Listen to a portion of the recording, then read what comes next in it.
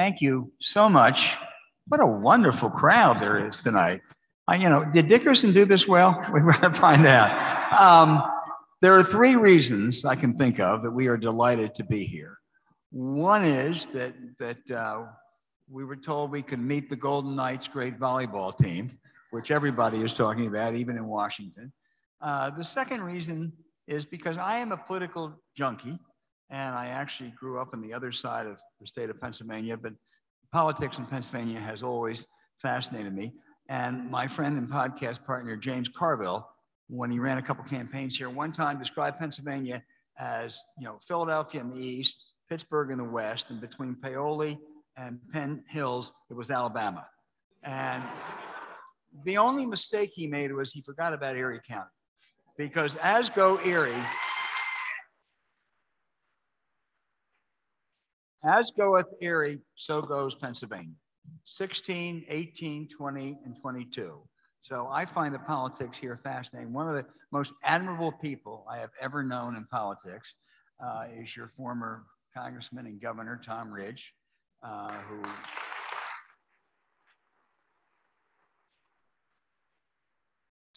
I have a friend, I grew up in the Philadelphia suburbs, which used to be the heart of Eisenhower country and now has become very democratic. And he said, What can Republicans do to come back? I said, It's quite simple. You just find a couple Tom Ridges and you can win elections. They, they don't seem to be following that advice. And the third reason I'm delighted to be here is because of what you have done in this community. And I want to praise uh, what Jefferson Educational has done as a group that collects people and convenes. Uh, our friend Jim and Deb Fallows first told us about Erie was the, you know, the wonderful piece in their book, Our Towns, and the documentary they did. And the, the point they make is that for all the friction we talk about in this country, which is quite pronounced, and Judy can we'll get into that, that there are communities like Erie that really try to make it work. There are challenges, there are terrific challenges. But what you have done here, and you still have challenges, is remarkable. First of all, you have you have put out the welcome mat for new Americans. Uh, not everybody does that, and it almost always strengthens a community. And you've adapted, you sought to adapt economically, and I think you have a, a vibrant community with challenges. Uh, and that's pretty good.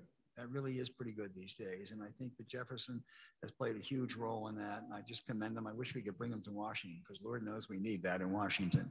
Um, I'm going to just give an overview of these elections that just took place because I think that is on a lot of people's minds. And then we'll turn to the more substantive part uh, to Judy, and then we'll be joined by our good friend and Erie legend, Steve Scully.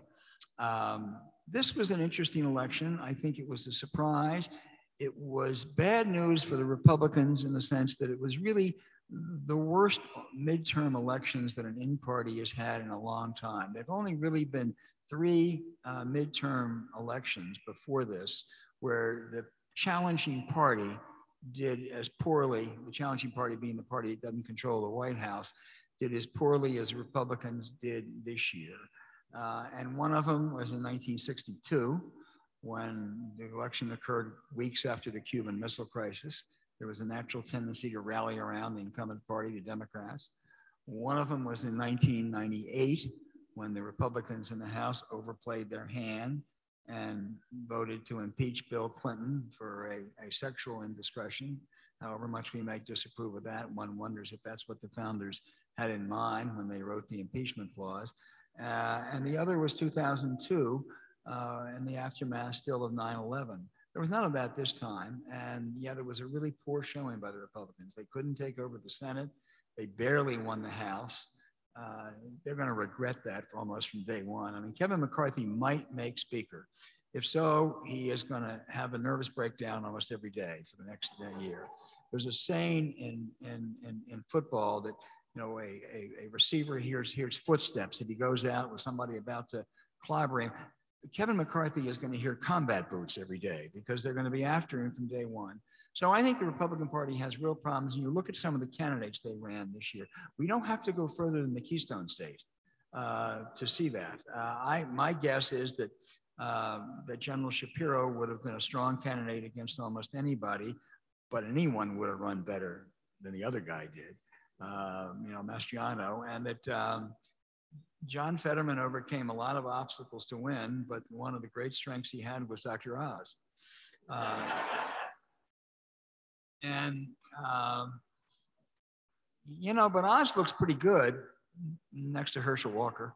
Uh, uh, you know, someone said the other day, you'll see Herschel Walker again. It, it, that is, if you're not one of his children. Um, so um, the, the Republicans really had a disappointing night. And I think uh, one of the things that some, I think their moderate conservatives hoped was that this would expunge Trumpism from the party. It did not. It is true, fortunately, that some of the most prominent election deniers, including here, lost, and that's good. Uh, but it, it's really wrong to say that the Trump faction uh, was dealt the kind of decisive defeat that would weaken them in the party. They weren't. Uh, they, his candidates won in Ohio, his candidates won in North Carolina, uh, and uh, a lot of the people, even who weren't Trump candidates, echoed the Trump line. So Trump, Trumpism, wherever he is, uh, even if he's in an orange jumpsuit, is still going to be, be, I think, a, a force in the Republican Party. I don't think it's a good force, a constructive force, but it's going to be there. So great news for the Democrats, right? No. Uh, first of all, they don't control the House. They won't get anything done in the next two years. The Democrats, the Democrats are a party of governance. They want to do things. You can approve, you can disapprove, but they face a two years where it's going to be very hard to get anything done other than Senate confirmations. And uh, that's going to prove frustrating to them. Uh, and the Senate, they do have a 50 to 49 to whatever Kyrsten Sinema is majority. Uh, but they, they, they wanted to pick up more seats this time because they face a dreadful map in two years. They face a map with 23 of the 33 senators running are Democrats, and of the 10 Republicans, there are not very many who look at all vulnerable. They're all from deep red states. So this is their time to get something done, and other than judges, it's going to be very, very hard. Moreover, I think both parties, when you look at the presidential lineup for 2024, face real challenges. Joe Biden has had a really good first two years. It's been much more successful than I think most people anticipated. You can argue you have to go back to FDR to find a president that got as much done in two years. And he says he's going to run for reelection. He's going to be 82.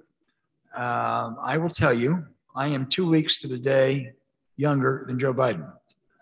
I ain't ready to run for president. And I think age is going to be a huge, huge factor. And I don't, I think the Republican the Fox News charge that he somehow lost it, that he's seen now, that's just utter nonsense. It's not true. But, but, you, but you get older. And I think it's something that, that worries Democrats privately a great deal. And if he should decide not to run, and as of now, he's clearly running, people say, well, who will we nominate? Well, I don't know. I mean, people would have said the same thing about Jimmy Carter, the same thing really in 2000, at this time, 2006. No one thought Barack Obama was going to be the next president. So someone might emerge. But on the Republican side, you have the Trump force, which is there. And if Trump faces a multi field candidacy, he'll win because he's got a hardcore 30, 32%. So let four or five candidates get in Ron DeSantis and Chris Christie or uh, you know, Nikki Haley, he's going to win. And I think he's going to be a very weak general election candidate, far weaker than he was in 2020. So I think both parties have huge problems. But to me, the most, I think there were there were really good things out of this election. I think some, principally some bad people lost. The election deniers in particular lost, and I think that's really important for our democratic system of government. So there were some good things that occurred. I think the thing that was not so good is that America is going to be as divided. Washington is going to be as divisive.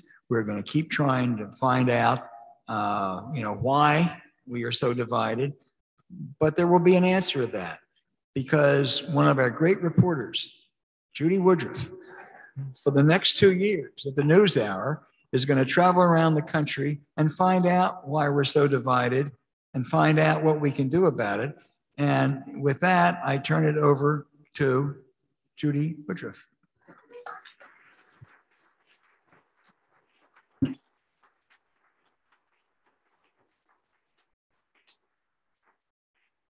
Thank you very much, Al Hunt. We've been married 42 years. Um, every moment has been has been heavenly, uh, just like all of you who've been married 42 years. Every moment has been heavenly. Um, as Al said, we are so thrilled and so pleased to be in Erie. What a wonderful community! What a wonderful um, uh, story you have to tell. And as Al said, what the Jefferson Educational Society is doing is the kind of thing that we wish there were in every city in America. It's the kind of thing that, um, that frankly brings out the best in all of us uh, who care about this country so much and believe in our role as citizens. Um, I'm just going to speak very briefly because we want both of us want to get on to the main act, and that is the incredible Erie native Steve Scully um, asking us questions that he promised they're not going to be too tough. Uh, we'll find out in a minute. But I just want to say a few words about what I am going to be doing. As some of you know, I've been anchoring the PBS NewsHour uh, in one form or another for about the past 11 years since uh, Jim Lehrer. Thank you. You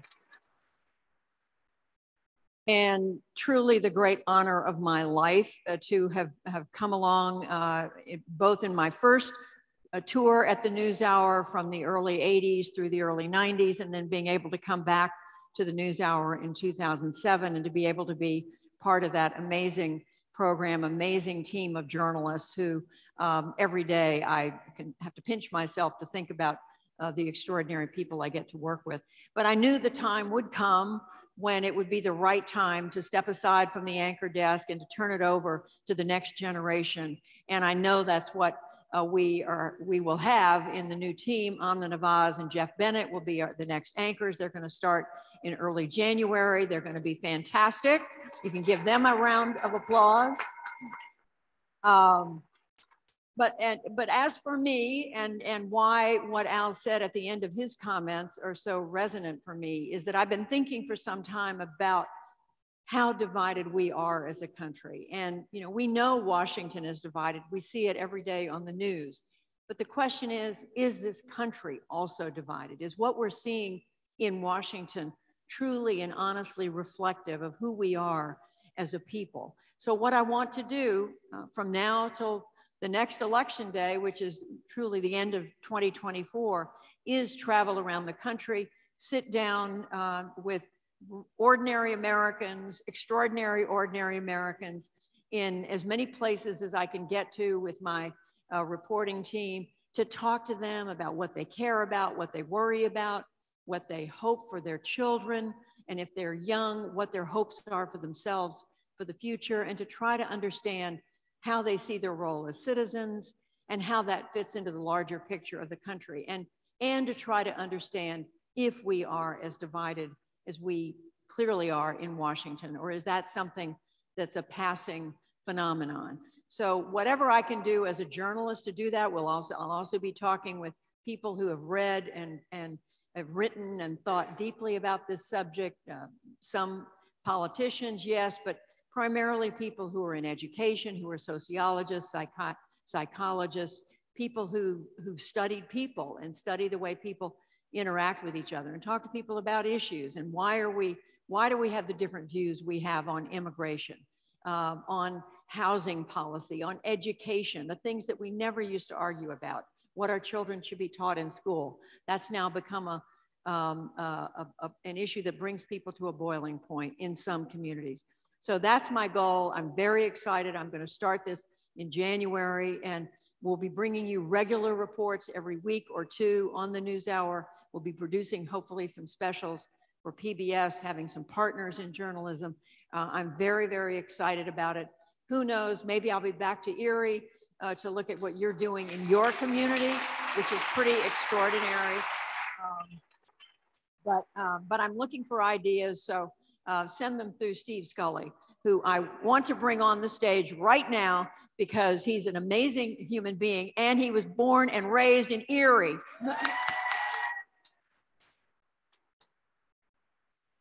Judy Woodruff, welcome to Erie. Mr. Judy Woodruff, welcome to Erie.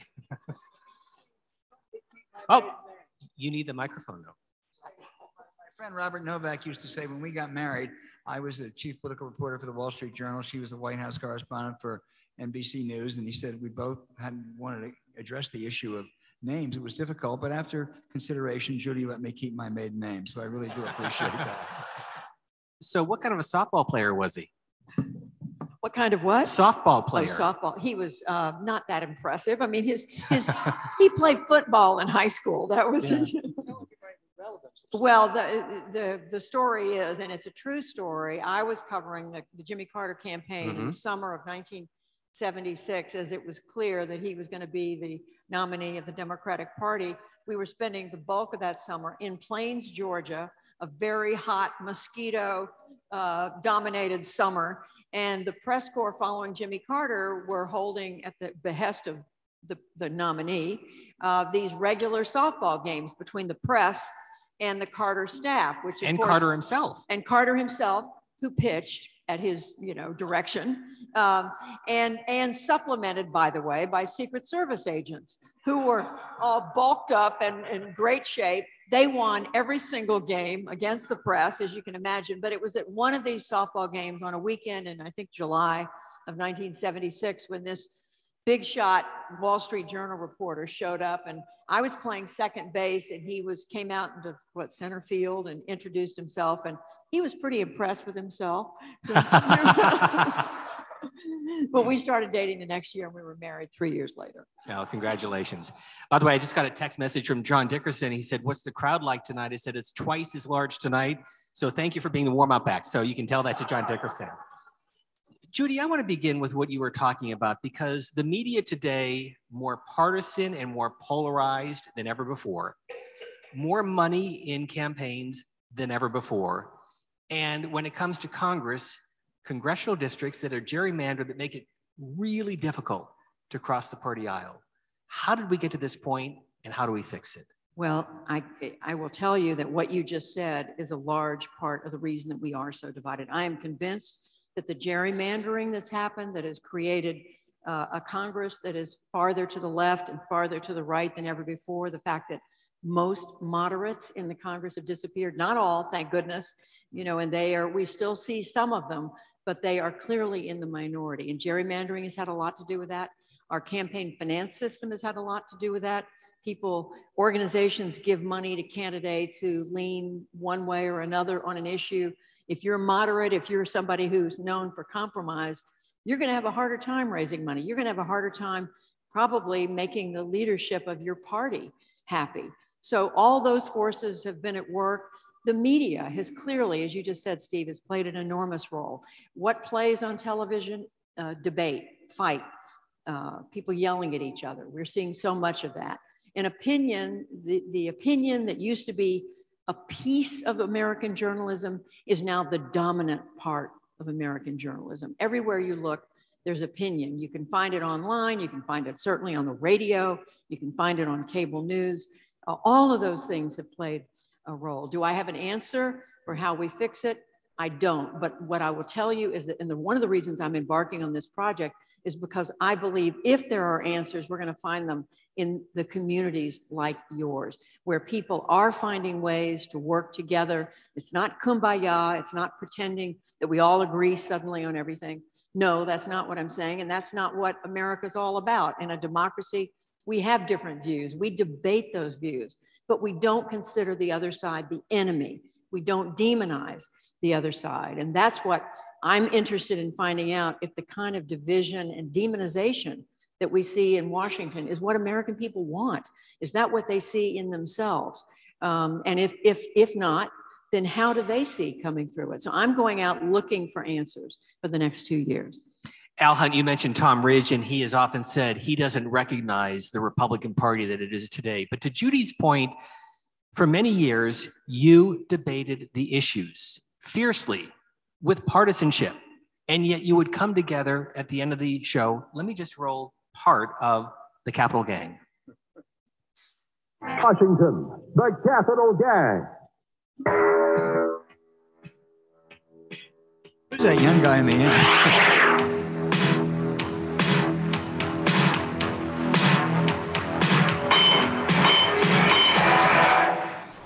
Welcome to Capital Gang. I'm Al Hunt with Mark Shields, Robert Novak, and Margaret Warner. Our guest is Senate Republican leader Robert Dole. Bob, it's good to have you back. Thank you very much. Russia's Congress of People's Deputies has backed away from a constitutional crisis.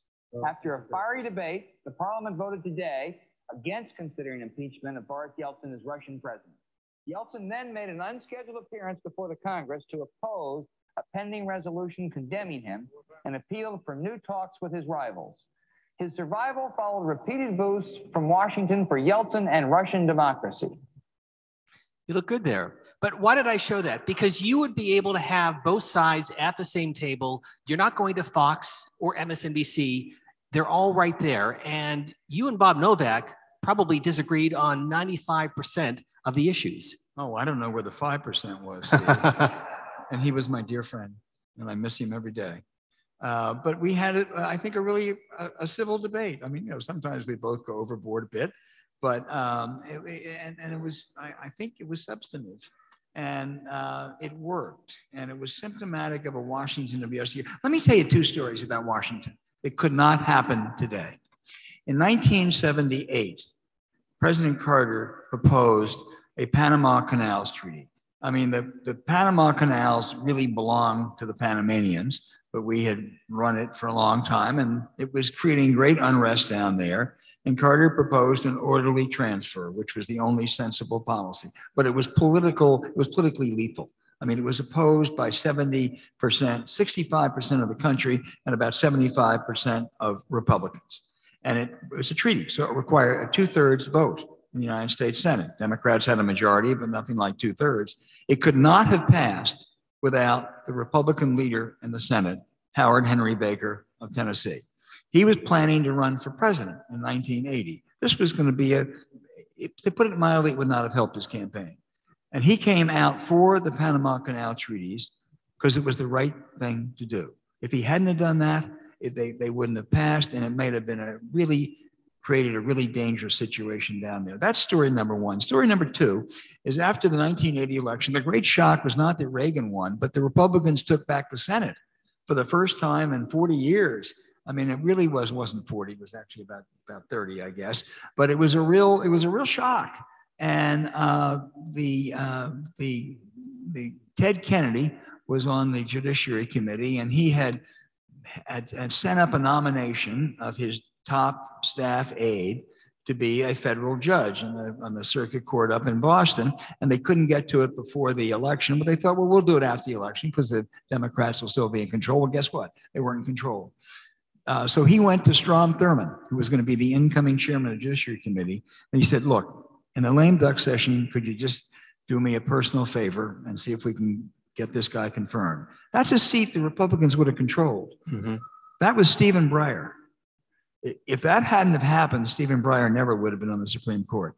That story couldn't happen today, and that's the difference in not just journalism, but the difference in in in Washington. And people say, well, there were fights before, there were differences before, there was friction before. Yeah, there was.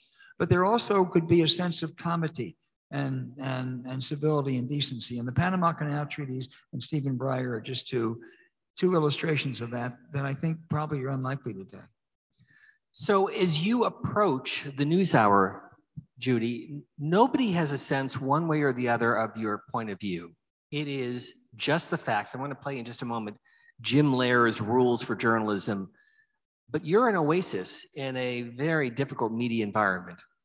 That was uh, a standard set by Robert MacNeil and Jim Lehrer. They had co-anchored PBS's coverage of the Watergate hearings.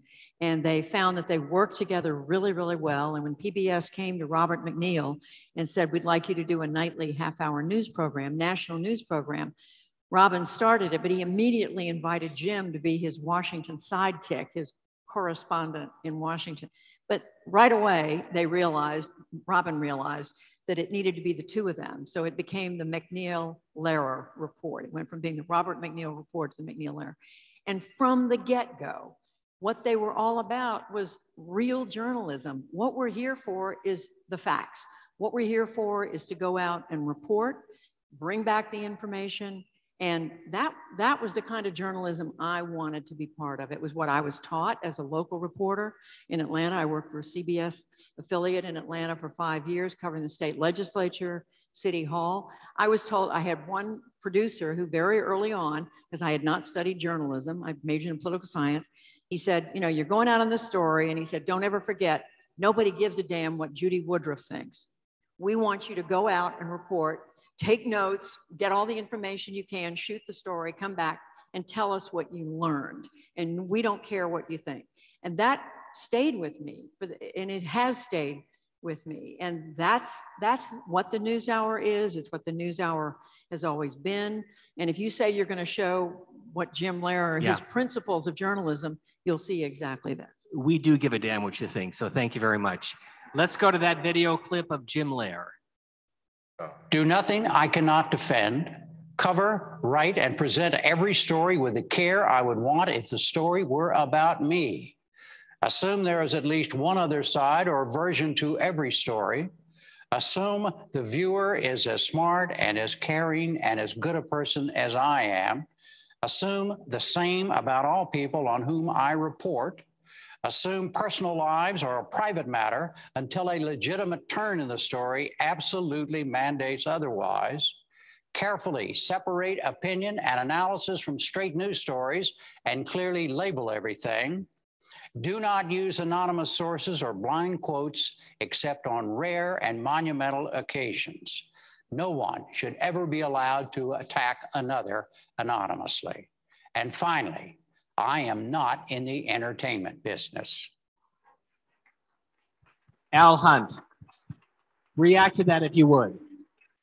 Well, let me let me just add that certainly I I think the news hour is the crown jewel uh, of uh, of television. But I can tell you who else is in that category was Steve Scully and C-SPAN because they cared about what people thought. They let people talk.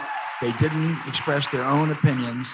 And so we have some problems with journalism in this country. I, I teach at the University of Pennsylvania. One of the assignments I give my students is they go and they watch the evening broadcast of MSNBC and Fox. They alternate back and forth, and they come back with a report and said, "My God, it's not just a different take; it's a different universe." And I think that the the Jim Lehrers, the Robin MacNeils, the Judy Woodruffs, and the Steve Steve Scullys uh, have been the examples that we are fortunate to have by contrast. Well, thank you. Uh, I have we there's so much to talk about Judy Woodruff in your career, but I've I've picked two moments that I think uh, this audience would find particularly interesting. And as we look back at presidential debates, this is probably the most significant VP debate and one of the most important debates in modern history. And you had a front row seat. 1988, Senator Lloyd Bentsen and Senator Dan Quayle. I have as much experience in the Congress as Jack Kennedy did when he sought the presidency. I will be prepared to deal with the people in the Bush administration if that unfortunate event would ever occur. Senator Bentsen? Senator, I served with Jack Kennedy. I knew Jack Kennedy. Jack Kennedy was a friend of mine. Senator, you're no Jack Kennedy.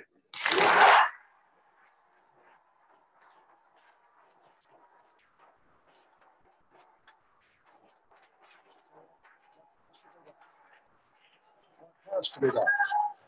In a situation like that. Please. In a situation like that. You're only taking time is to call in the joint. Your own candidate. That was really uncalled for, Senator. the hair was a little longer. what a moment, though. Uh, what a moment. I mean, I have to say, uh, we learned later, of course, that the Bentsen campaign had been preparing. He didn't know Jack Kennedy that well. it was a great line. Don't let the facts get in the way. But well, he, knew, he knew him, but but they had heard, they knew that that Quayle was using this line on the campaign trail. And, and so uh, Bentsen was prepared if Quayle used it. And so you could see the look on his face just then as Quayle was saying that. But honestly, sitting there as the moderator alongside Tom Brokaw and a few other terrific journalists, we, uh, you, you would have thought that the, that the campaign was over at that moment. The room exploded. And, and of course, Bentsen had just, you know, had, had clocked uh, uh, Dan Quayle. But of course, what went on to happen, you learned that debates are not the end all and be all of campaigns, that you can have a big moment in a debate and then the campaign will work its way as it, as it went on. I mean, Bentsen and Dukakis lost. But Al, that was like the third or fourth time they brought up the question of Dan Quayle's experience. So this was like at some point, Lloyd Bentsen knew he had to go in for the kill. He did. And it also illustrates because I, I don't think I've ever seen a more effective moment in a debate, certainly in a presidential or vice presidential debate.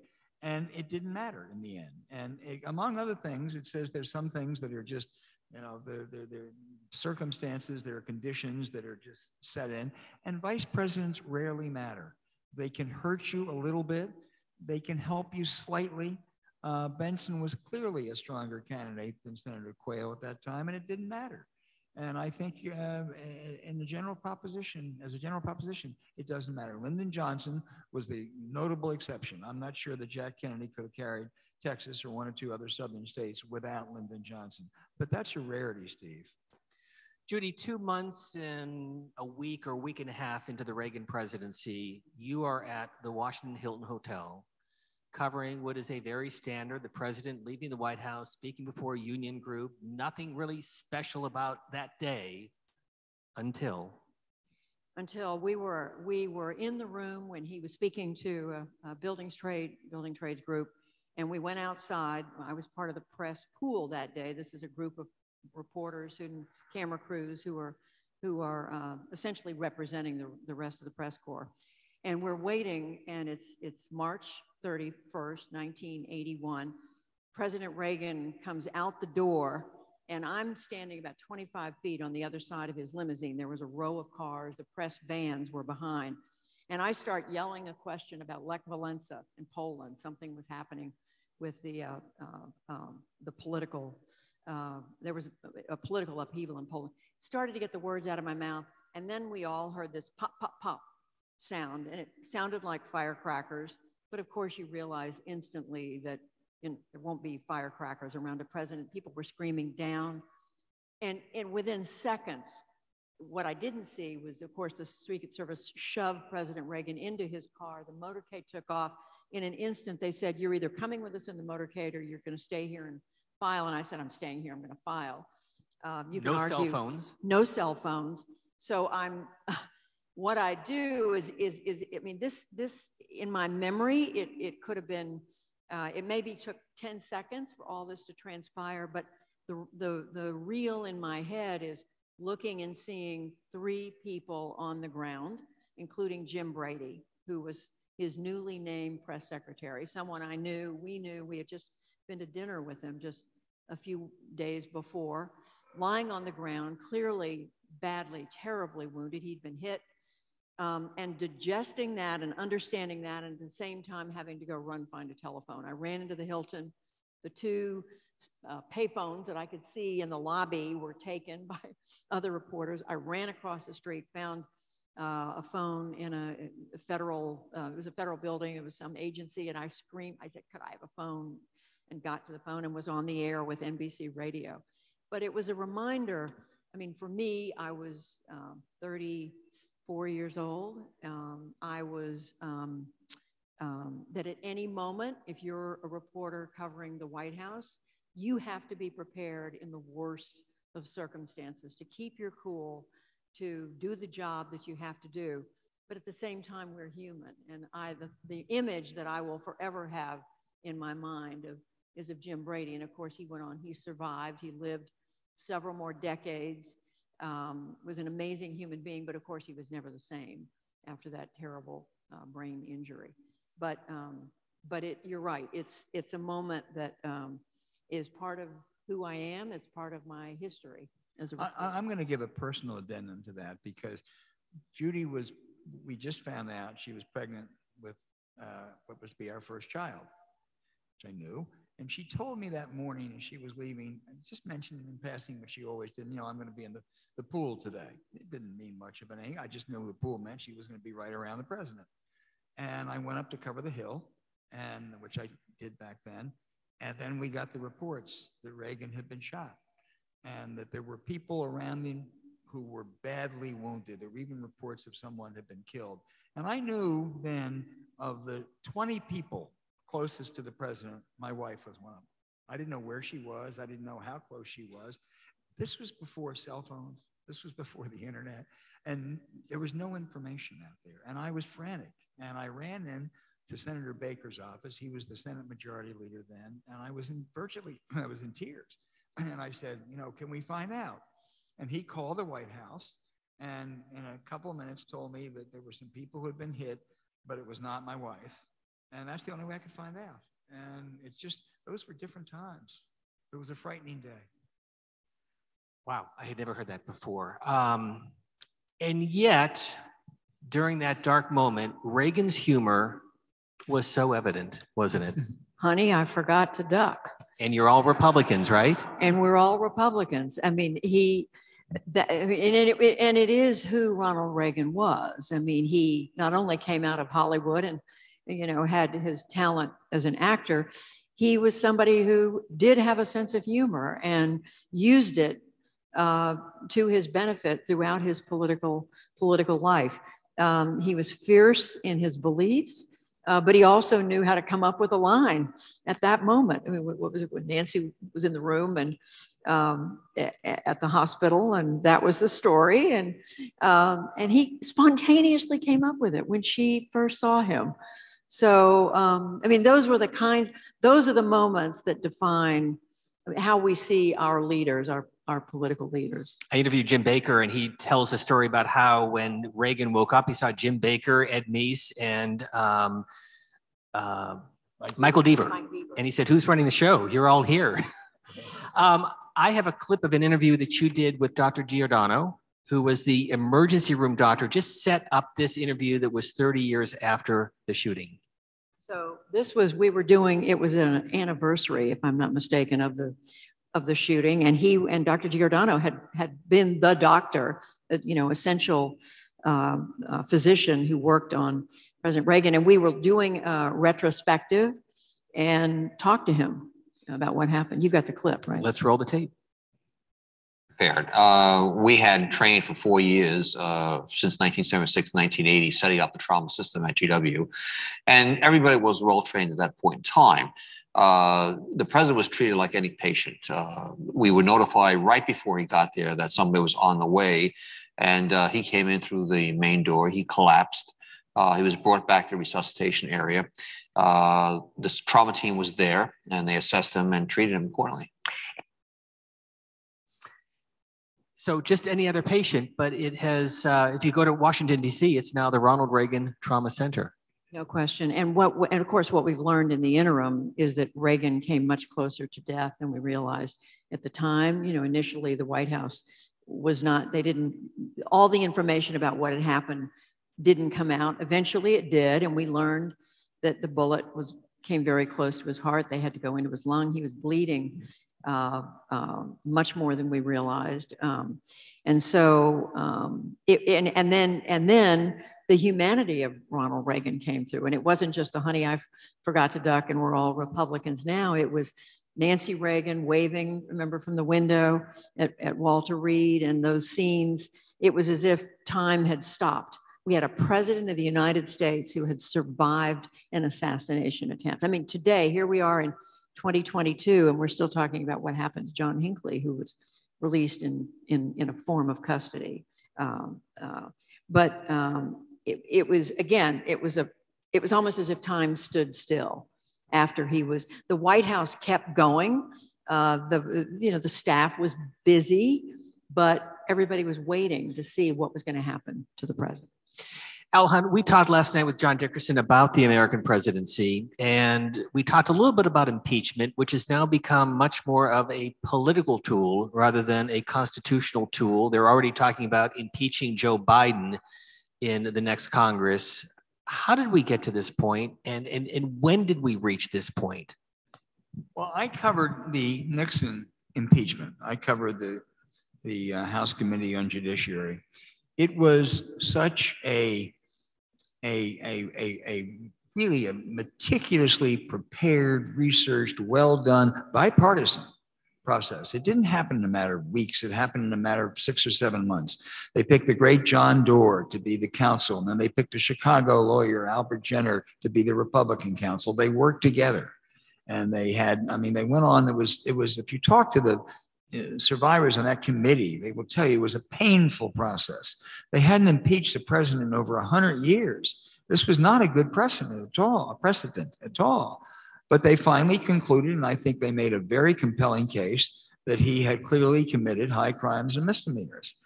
But what they did, they set a, a record and they set a, they established a record and they established a thoroughness and they established a bipartisanship that made that, I think, a totally justifiable act. They did. I mean, in the end, more came out and, uh, you know, there were, you know, probably 400 members who would have voted for an impeachment bill if it had come to the House.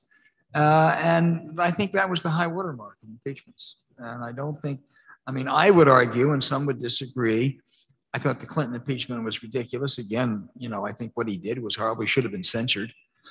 but I don't think that met the def- uh, definition of, excuse me, Steve, of impeachment. I could argue either um, of the of the Trump impeachments, but they were hasty.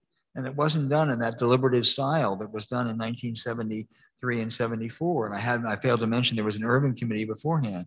So I think it's a very dangerous situation to say, you know, we don't agree with someone as president, so therefore we're going to impeach him.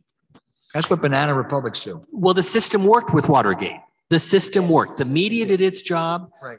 The Republicans who said to Mr. Nixon, the gig is up, Democrats who were slow walking all of this, but that's not the case today, Judy. No, we are in a much more hair trigger uh, situation where, um, well, it's it's what we you started this conversation with, Steve, which is how divided Washington is and how the middle has slowly all but disappeared.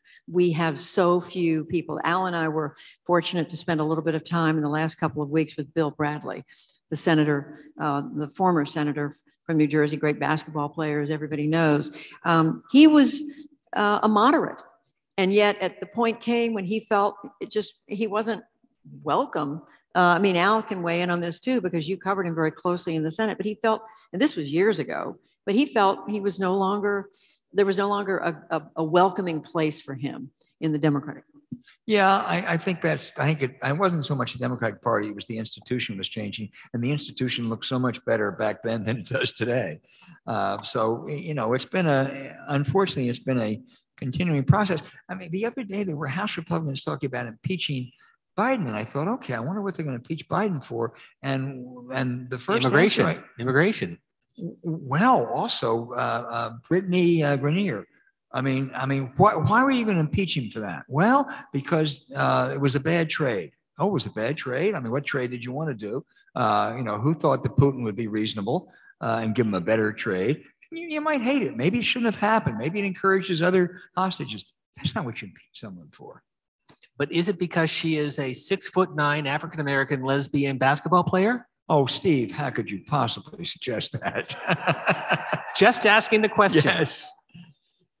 It was the News Hour with Jim Lehrer and Robert MacNeil, and it was the News Hour with Gwen Ifill and Judy Woodruff. And I want to play just a portion. Uh, I love Gwen Ifill, and she was a trailblazer like you. And of course, in 2016,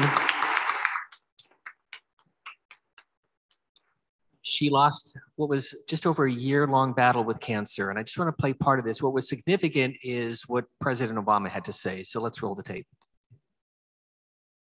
Our lead tonight is news that we hoped we would never have to report. Our managing editor, my co anchor, and dear friend Gwen Ifill died earlier today after an almost year long battle with cancer. She was a supernova in a profession loaded with smart and talented people. So it's no surprise that messages of condolence have flooded in all afternoon from across the journalism and political spectrum. President Obama said this at the White House.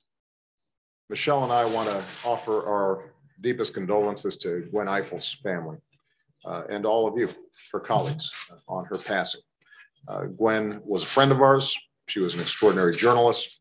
She always kept faith with the fundamental responsibilities of her profession, asking tough questions. holding people in power accountable and defending a strong and free press that makes our democracy work.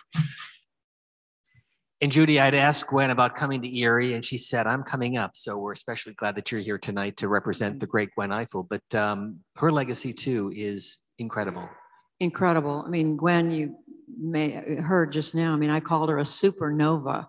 And that's really what she was. I mean, she was someone who, daughter of a minister, um, unlikely beginning. I mean, she went into journalism at a time when uh, women were not that welcome and Black uh, well, men and women were not welcome. She, her first job at a Boston newspaper, she found a note on her desk one day with the ugliest kind of language on it uh, as she showed up for work uh, to report for the Boston Herald. Um, and she went on to break down one barrier after another, one after another, and to be not only brilliant uh, fearless. I mean, about as fearless a journalist as, as I can think of, and an incredible mentor. She um, she believes so deeply in the need to bring along other young journalists behind her, especially young women and men journalists of color who were dealing with some of the same uh, obstacles, setbacks, doubts, and worse that she had dealt with. And so she, wherever Gwen was, there were there were young people who were trying to talk to her. I was, I'd be in her office and she'd get a call or she'd get an email or somebody would want to see her. Um, she was just, you know, not only one of the best of the of the journalists of our generation, she was also someone who was beloved in the community. I'm going to just add one yeah, thing ahead. to that. This is a story that Judy told when she gave the eulogy um, uh, at, uh, at, at, at, the service for Gwen. And that was when they first started co anchor, they would call each other the night before to ask, What are you going to wear? Because, you know, if guys wear a blue shirt and a red tie, two guys, I mean, nobody thinks anything of it.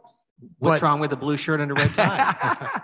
but if two women show up in purple or two women show up in red or white. It's going to, and as Judy told the story after, I don't know how long it was, seven or eight months, they stopped calling because they kind of intuited what the other was going to wear. So that was really close. We just figured it out. We just had this sort of karma thing going and we didn't have to check. But you're right. I mean, we didn't want to be the Bobbsey twins, you know, with both of us sitting there with the same with the same color. But uh, anyway, she, she, took the job seriously. She never took herself seriously, and she had a wicked sense of humor. Wicked. can't repeat some of the Gwen Ifill. Maybe one. No. Uh, some questions from the audience. Uh, this is for you, Judy. Tell us about your experience on January 6th, 2021. Wow. Well, there we were. Uh, all of you remember it so well. There we are. Um, uh, seven, eight months into the pandemic, uh, nine months into the pandemic, I was anchoring the news hour from home, which of course we were all reporting and doing everything we could from home. We just had a handful of people at the news hour who were working in the studio. I was at home. Uh, Lisa Desjardins, our Capitol Hill reporter, was at the Capitol, inside the Capitol, waiting to report, as she likes to say, on what would be an ordinary thing, the certification of the a very C-SPAN moment. A very thank you, a very C-SPAN moment, uh, and a PBS moment, uh, where we were covering the certification of the electoral uh, vote, the electoral count. Lisa's in the Capitol. My colleague Amna Nawaz uh, and, and then Yamiche Alcindor. Amna was reporting on the what was supposed to be the crowds at the Capitol, and Yamiche was the White House. But long story short, what happens? And um, Lisa, I'll never forget. I'm you know, we are all stunned at what's happening. We had no idea that this crowd, we had reported on the, the rally, the speech uh, of former President Trump, but then to see what happened at the Capitol, and it was slowly building and slowly getting worse and worse and worse. And I would periodically go to Lisa, who would be in, in a one woman photographer, videographer, reporter, carrying her little camera around and showing us what was going on and narrating it as the glass was broken in the Capitol. Um, and people started breaking through. And then she was trying to interview them as they were running down the hall, holding a microphone out to ask them what, who they were, where they were from, what were they trying to do, why were they there. And at some point, Capitol policeman or another security person told Lisa she had to get down because these people were armed and for her own safety. And so she was hunched down, you know, behind uh, a part of partial wall, reporting for the news hour. Whoever thought that we would be in that moment at our United States Capitol with um, people running through the building and trying to get into the chamber, trying to get into the House and Senate chambers.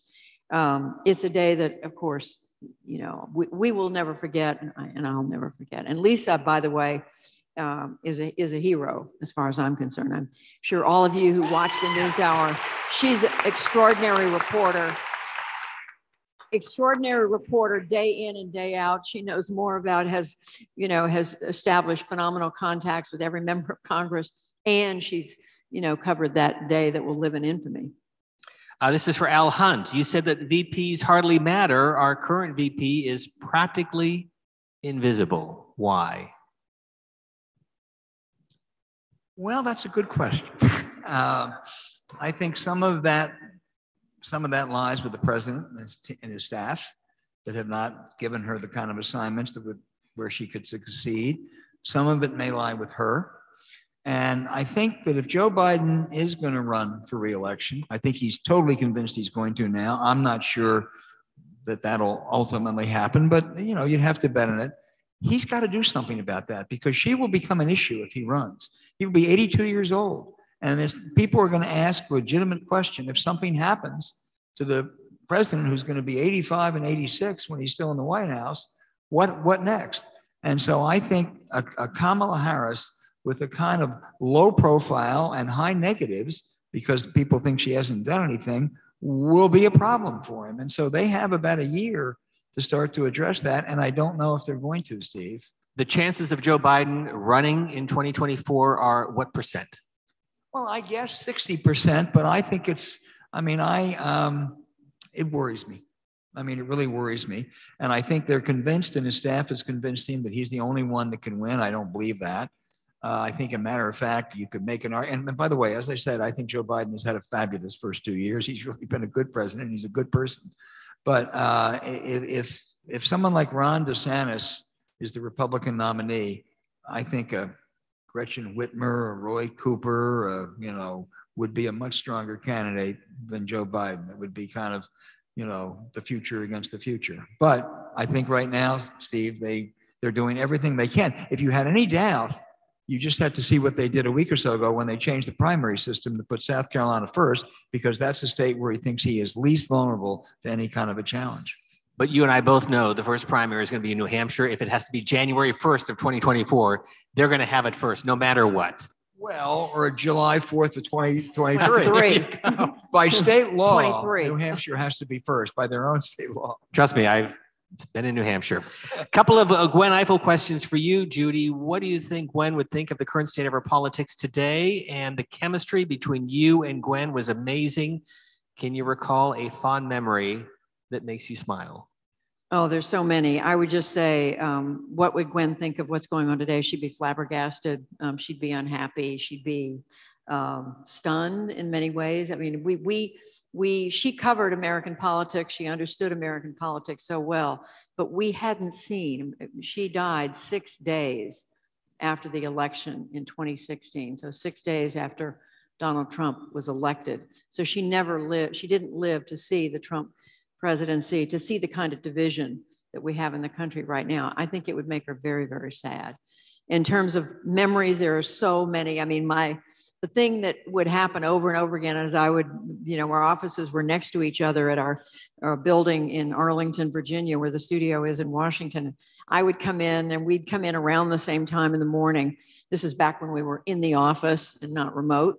Um, and I would be sitting there, and, and, if she came in, I'd go in her office. But if I if I'd come in, I'd be in my. She'd come in and she'd say, "All right, what do you know? What do you know?" and we'd talk about what was going on in the news. And then I have a very bittersweet memory, and that is visiting her in the hospital in the last weeks before she passed, when she said, "I'm going to be there on election night. I'm going to be there with you." And of course, it wasn't to happen. But um, I'll, I'll always remember that because Gwen was the forever optimist about everything. And so that that's that's a memory about her that I'll carry with me always. And now there's a stamp. The Gwen Ifill stamp. There is the Gwen Ifill stamp. If you can get it at your local United States Post go. Office. So, Al, what did you think of the Donald Trump presidency?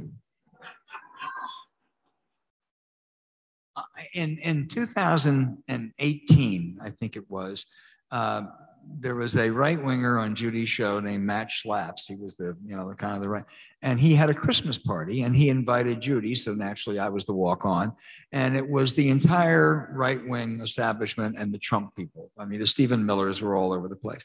And I had done a podcast with David Axelrod a day beforehand.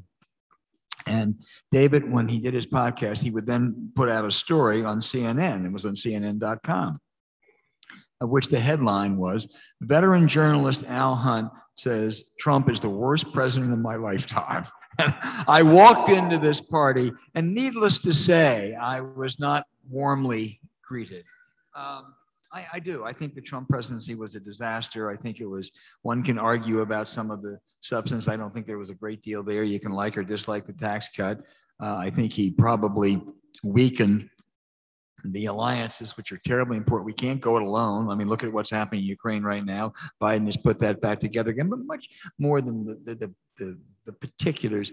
Uh, he, he really he, he coarsened the dialogue. There was a uh, you know a meanness about it, a uh, something that went beyond just uh, uh, you know political uh, differences or intensity, and it was personal insults, and uh, it, it just was really I, I think an ugly period. And I think even I have some very conservative friends who defended some of the substance.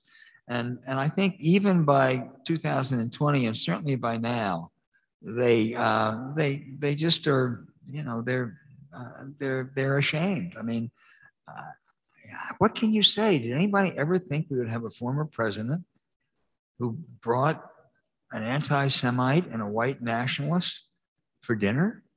I mean, that just I, I I'm I'm appalled, and and and I think that um, and I think that George H.W. Bush was appalled. I think George W. Bush was appalled. I think Mitt Romney was appalled. I'm talking about the Trump behavior. So that's Tom not a- Ridge was appalled. who? Tom Ridge. Yes, absolutely. Tom Ridge at the. I mean, I. I mean, Tom Ridge ended up endorsing uh, both Hillary Joe Clinton Biden, and yes. Joe Biden, and uh, it's not because all, all of a sudden he became some kind of a socialist. Uh, it was. It was. So I. I know I'm going on too long, but I, I did not have a high regard for the Trump presidency.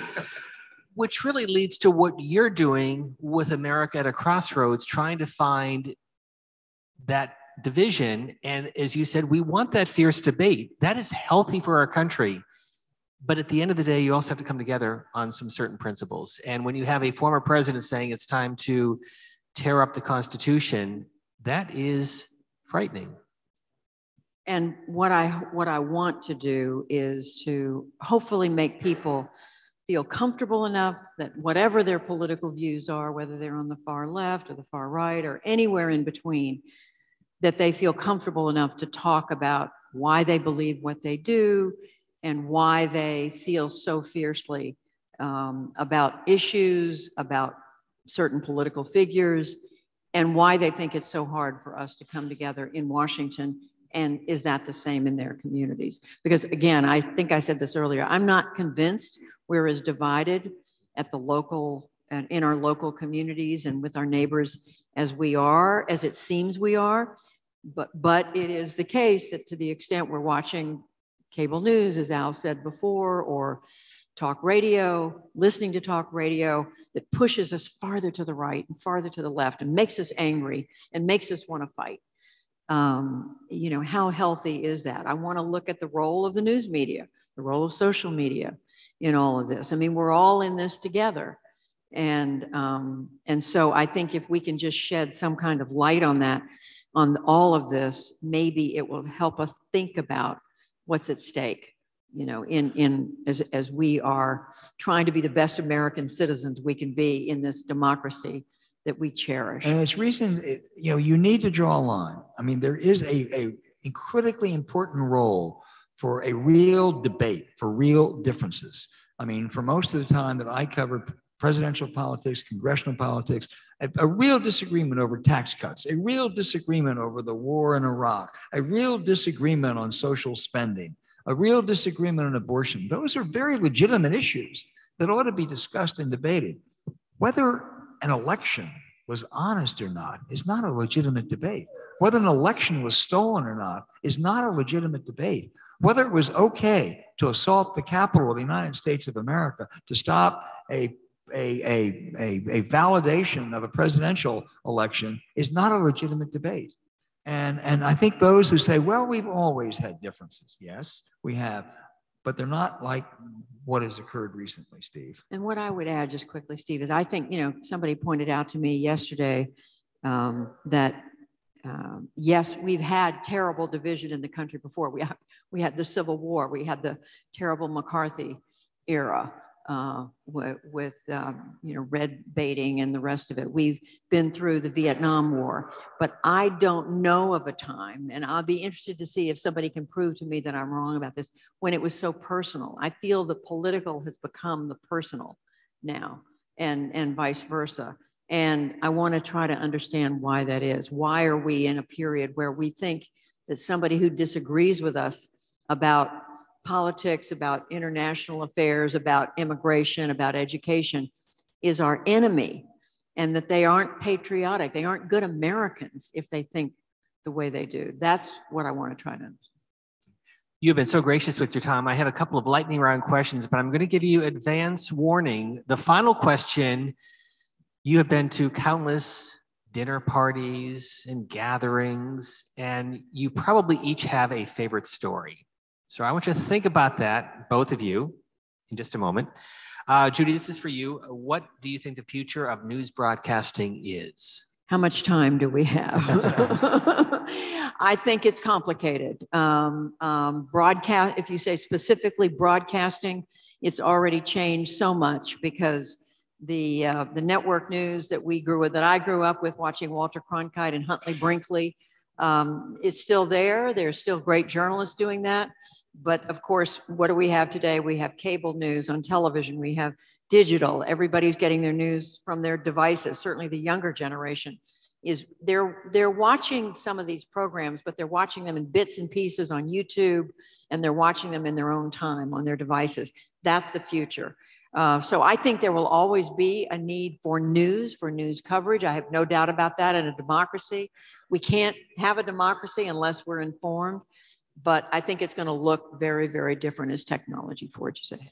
Al Hunt, the loss of the Fairness Doctrine and the influence of Newt Gingrich on American politics. Your thoughts? I think both were mistakes. and both, uh, I mean, Gingrich was a fabulous guerrilla warrior. I don't know that the Republicans could have taken back the House without Gingrich. He really was. He just knew exactly how to fight. It was really mean, but it was really effective. And then, then he had no idea how to govern because he was a, he, you know, if you're a guerrilla warrior, you're not likely to be a good governor. And uh, so I, I think the influence was bad. Um, I, I, I would just, if I can steal from Judy's, the question was about broadcast. Uh, talk about newspapers for a second. I have no worries generally about newspapers or print news or whatever we call it on the national level. The New York Times, the Washington Post, the Wall Street Journal, they both have good, they all have good business models. Uh, they all have as good reporting as they've ever had. I wish a lot of them would stay off Twitter, but they really are doing some great journalism. I worry a great deal about journalism at the local level. I worry, and you all see it here in Erie. Uh, when you are not controlled by local people, when you have know, these big places that don't really care about local communities, when you have a bad business model, uh, I don't know the particulars of your Erie paper, but I know the Chicago Tribune 15 years ago had 650 reporters. Today they have 120. You can't cover the city of Chicago and the state of Illinois with 120 reporters. And I, I, I really don't see much basis for optimism. There are a couple places, nonprofits and others, that will fill the void, but they can't fill the whole void. We have some veteran journalist, Meg Sherrick, who spent 40 years at the Erie Times News. And of course, that paper today is quite different now that it is not locally owned by the Mead family. There's a Gallup survey. I'm going to build on this question, Judy, that uh, in Nevada, Arizona, New Hampshire, there are more independents than Democrats and Republicans. And so this question is the rise of non affiliated voters in our politics. AKA independents. And we're seeing much more of that. And we saw, of course, Kyrsten Sinema, who is now an independent. And, and, and who said that she was uh, doing that because she didn't feel she had a home in either party. And of course, some people were saying, well, there was a political motive to it. But she is now the third self-identified independent in the in the United States Senate. I don't know enough about politics to be able to forecast for you where we're going with that, but clearly there is a lot of unhappiness in the country right now with what's happened to our political parties in that they are so divided, they can't seem to work together. And I know many Americans point at one party or another and say they're more to blame. The D's are more to blame. No, the R's are more to blame. And I see that.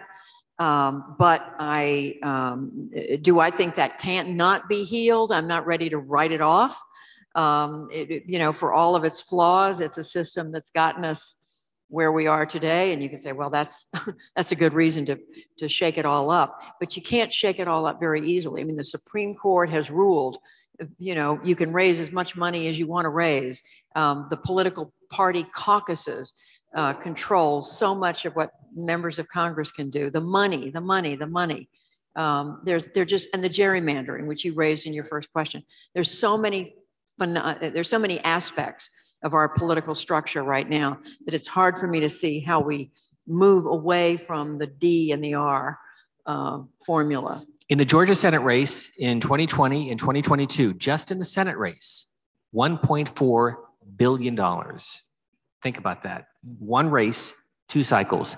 This is addressed to Judy, but I'm going to ask this for you, Al. Now that uh, you and Trevor Noah are retiring, will the two of you be on the road together? Al, what do you think of that?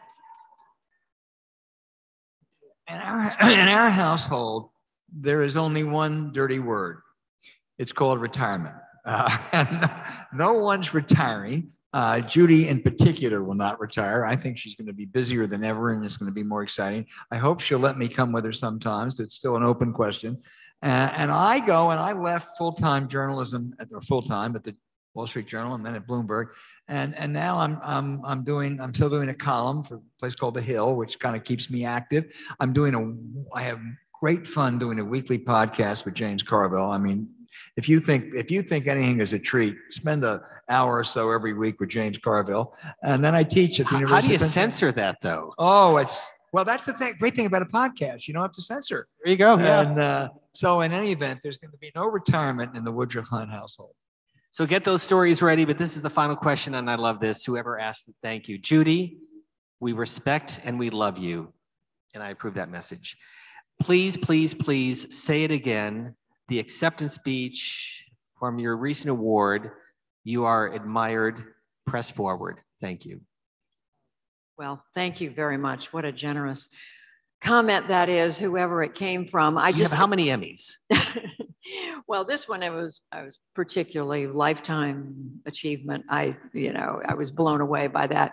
Um, I think the the line you may be referring to is is that I said for all the difficult um, political circumstances going on in our country right now, the division, the fact that our business model has collapsed, that newspapers have disappeared, as Al has described, local media is struggling mightily everywhere we are so opinionated, we're swimming in a sea of opinion. Despite all that, I said, we in journalism have to get up every morning and put on our boots or our high heels and just keep going day after day after day. What the country needs are facts.